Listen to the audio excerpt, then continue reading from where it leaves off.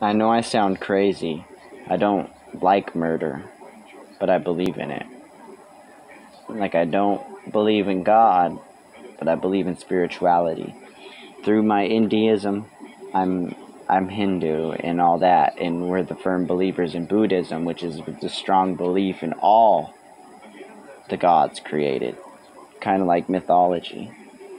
Um, kind of losing my place of where I was at. I, sometimes I lose my memory. Um,